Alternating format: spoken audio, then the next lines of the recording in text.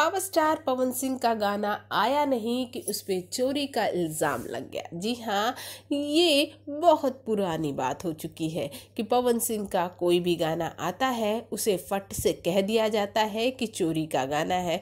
वैसे आपको बता दें, बहुत ही कम समय में पवन सिंह के इस ट्रीज़र ने बहुत ही धमाल काम किया है।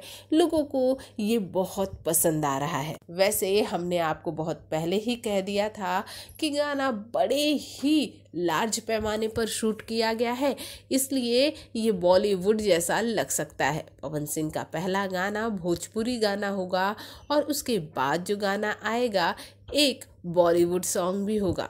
आपको बता दें, सलीम मर्चिन भी पवन सिंह से मिले हैं और उनके साथ जल्द ही एक सॉन्ग करने के लिए उन्होंने रिक्वेस्ट तक की है। जल्द ही उनके साथ आएगा पवन सिंह का एक और सॉन्ग, लेकिन उसके पहले पवन सिंह के कई भोजपुरी सॉन्ग भी आएँगे।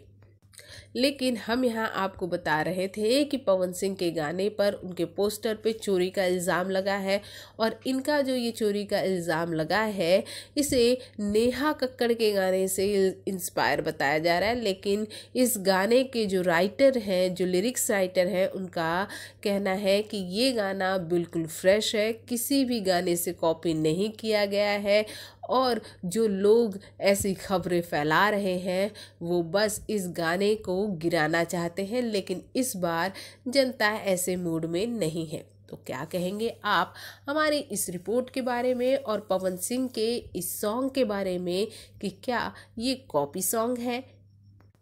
और हमारे इस चैनल को सब्सक्राइब करना बिल्कुल ना भूलिए।